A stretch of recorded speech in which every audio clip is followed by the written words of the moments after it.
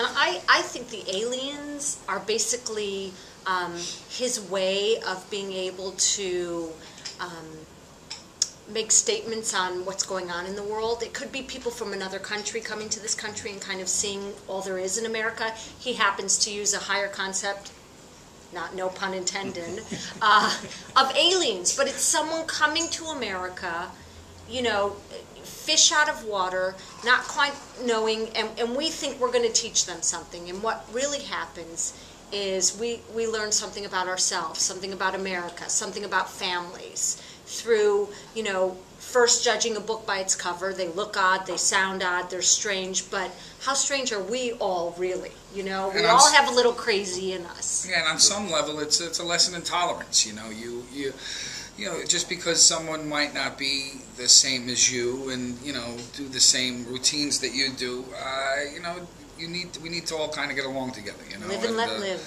And would,